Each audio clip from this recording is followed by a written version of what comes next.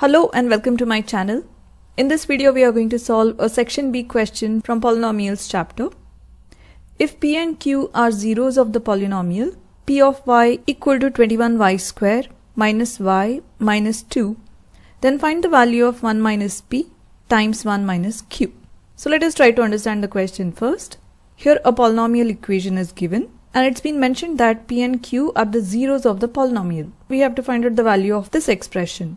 So let us begin by writing the general form of quadratic equation because this is a quadratic equation since the highest power of y here is 2. Now the general form is ax square plus bx plus c. Now here a represents the coefficient of x square and 21 represents the coefficient of y square. So comparing them both we can say that the value of a is 21 Similarly, the coefficient of x here is b and here the coefficient is negative 1. So here we get the value of b as negative 1. Finally, the constant. So the value of constant here is negative 2. So c is equal to negative 2. Now let us write down the formulas relating the zeros with the coefficients. Now in general, the zeros are represented as alpha and beta. So sum of zeros is alpha plus beta is equal to now in terms of coefficient, the sum of zeros is negative b over a. Now product of zeros is alpha times beta and in terms of coefficients, it's going to be c over a. Now here they have already mentioned that p and q are zeros. So here let us consider alpha as p and beta as q. So here we have written p plus q is equal to negative. Now b is negative 1.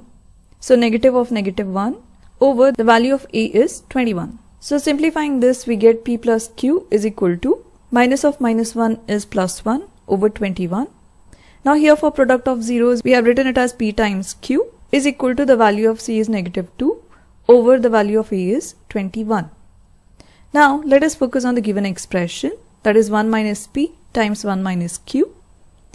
Now here 1 minus p times 1 minus q we have expanded the bracket that is 1 times 1 is 1 1 times negative q is negative q.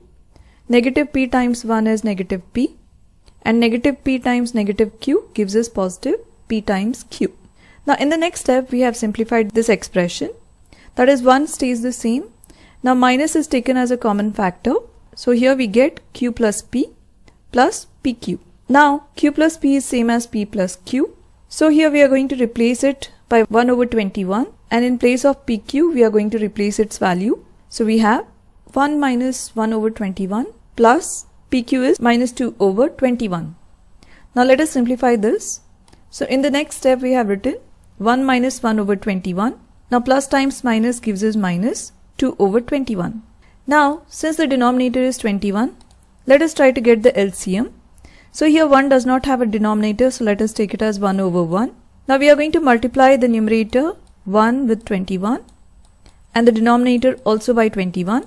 So this simplifies as 21 that is 1 times 21 is 21 minus 1 minus 2 in the numerator and 21 in the denominator. Now let us simplify this. 21 minus 1 is 20 and 20 minus 2 is 18. So this fraction becomes 18 over 21. Now 18 and 21 go in the table of 3.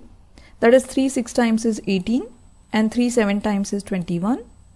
So value of this expression that is 1 minus p times 1 minus q becomes 6 over 7. So we have written its value over here. I hope you have understood all the steps and liked the video.